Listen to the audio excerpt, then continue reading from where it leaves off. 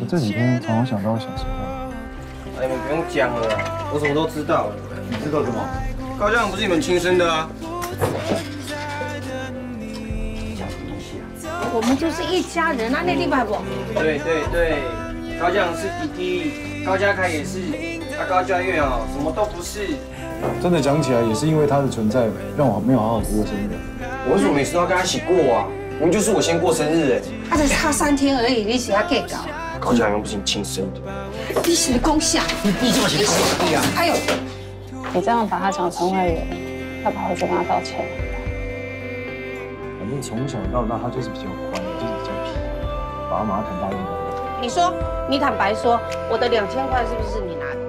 啊？是我拿的。你给我老实讲哦，不然我叫警察把你把你送到警察局。啊！是我拿的，是我拿的，是我拿的。啊！你承认你还那么大声？你死！不要讲啊！叫你不要拉我，你我说不是我拿，你会相信吗？就是你拿的啊！你自己不是承认了吗？气死我！小时候是谁替你最后说被爸妈打？我忘了。你懂我，你了解我。你一个人在外面住了那么多年，你知道他们发生什么问题吗？全家人都要管，累不累？爸妈对我那么好，我能说不管就不管吗？我有权利说不吗？我不要又累。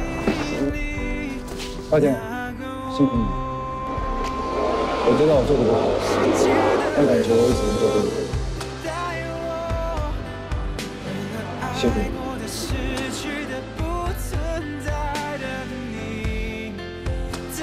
高奖他，他什么都很好。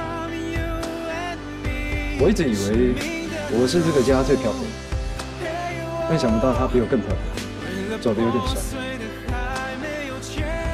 好好休息，以后不会再累了。谢谢你所做的一切